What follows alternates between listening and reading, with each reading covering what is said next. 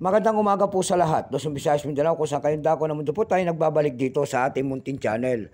Samuel Soriano, TV29 para mag-discuss ulit ng another coins at ito po ay ating hilig, mangulikta ng barya. Kaya ako tayo nandito nagsisili ng kanilang mga halaga para malaman natin ang presyo, ng tunay na presyo po nila sa mga platform natin.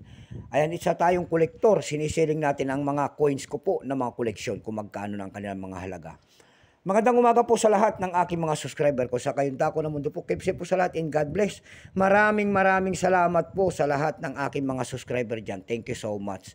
Yan naman po hindi pa po nakapag-subscribe dito sa aking munting channel. Anyayahan ko sana kayo at malaking tulong na po inyong gagawin. Tulad ng pagpindot ng ating subscribe button, like and share para ma-update ko naman kayo sa mga latest ko pang gagawin mga video po.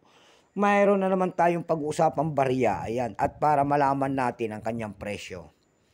Ito po ay year 2016, 25 centimos na wala ng halaga. Ayan. Pagkatalikod po naman natin, makikita naman natin ang year 1993. Ayan ang pagtatag ng ating Bangko Sentral. And then cut wheel po. Diyan po bumabase ang ating mga kolektor kung ano reverse o die ang isang coins. Ayan, napakaganda pa.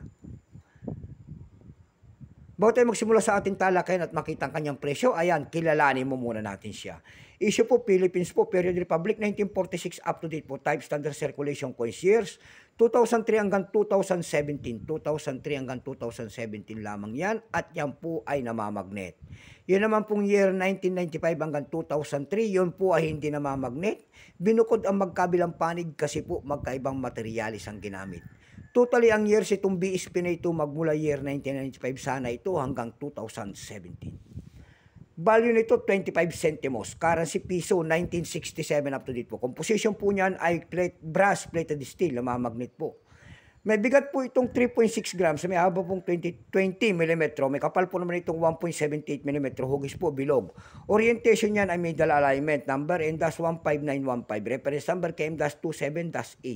Sale of the Central Bank of the Philippines yung na kanyan nasa likod. Ito pong year 2016. Ito po ay 5% lamang, wala pa pong mintage kung ilang piraso ang ginawa ng Bangko Sentral sa barya na ito wala pa silang maipakita. Pero may presyo po ito doon sa ating numista. Yung kanyang very fine 28. Extra fine ay 28 pesos din. Dako tayo sa kanyang presyo. Ayan. Doon sa ating ebay.com. Ayan. Sa pandaigdigan po sa eBay. May nakita ko tayo nagbebenta doon ng 7.2 dollars. Nasundan po yan ng 3.19 dollars. Dako naman tayo sa Carousel PH. Sa Carousel PH naman po, nakita ko tayo nagbebenta doon ng 300 pesos. Nasundan po yan ng 100 pesos. Yan, lang, yan lamang po ang ating may babahagi sa kadna. So hanggang dito na lamang po Luzon, Visayas, Mindanao. Kung sa kayong dako ng mundo po, keep safe po sa lahat. And God bless po. Bye-bye.